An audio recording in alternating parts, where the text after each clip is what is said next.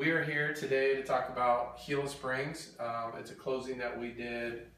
Um, well, you'll see the closing date here was uh, 122, so January 22nd, 2016.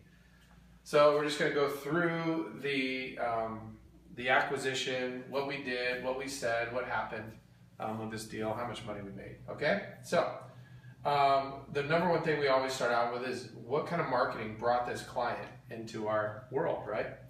So we had a, this is a direct mail campaign. Uh, we do our direct mail. We send it out to the free and clear list, and the uh, the seller contacted us by phone, and we called them back. All right. What the next thing is? Why did why are they selling their property? What was their pain? Well, this particular property, which is the ideal property for us because it has a ton of issues with it, um, it was a hoarder house.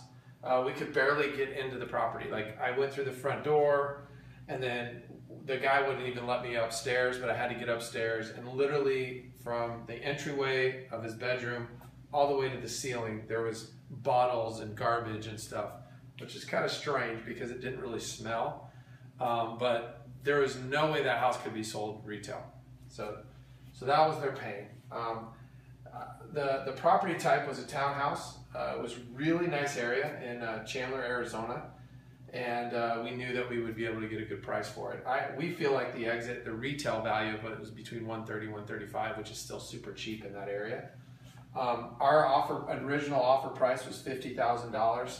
Um, they wanted about 70, but we ended up meeting them in the middle, um, when, which we ended up getting them under contract for $55,000.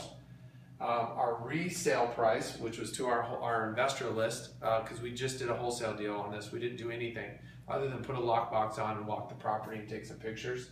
We sold it to our list for $89,000 net. Um, our buyer was from our cash buyers list. We sent out the email. Um, and our sale time uh, from act, from our contract date with our our buyer was 10 days. Um, and uh, and so from the time we sent it out to our list was two days. Uh, from the time we got a contract, and we closed 10 days later. Um, one of the things that I want to talk about on this deal when we we're going to go through the numbers in a minute, but the lesson we learned on this is I actually wanted to buy it, fix it up, and sell it because we got it for so cheap. We got it for really, really cheap.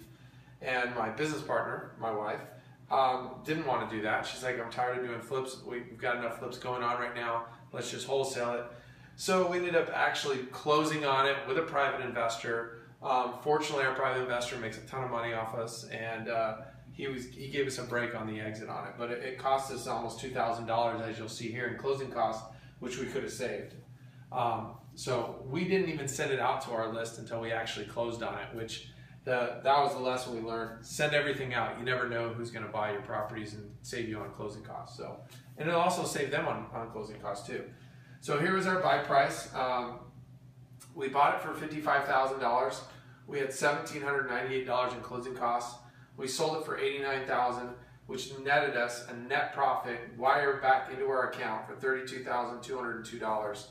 Um, our contract date from our seller, our hoarder seller, um, was uh, on one on 1226, the day after Christmas. They signed the contract, which was awesome um, because most people stop marketing, stop working, stop doing stuff over the holidays. Not us we had a $30,000, $32,000 bonus um, um, right after the first of the year because we were always working during the holidays, and that's when people want to get rid of their stuff.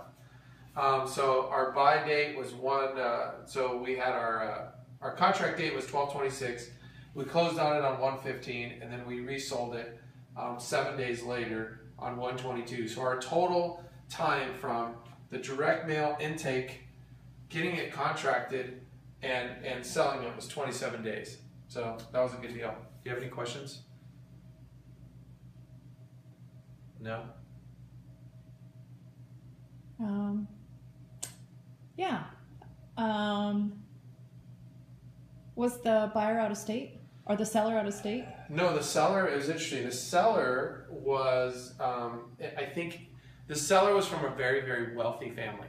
Okay, um, I think he was one of the black sheep of the other two children in the family. They were very successful. Father was really, really loaded, and they had this property. They found out that he had a hoarder house. They didn't know his the situation was as bad as it was.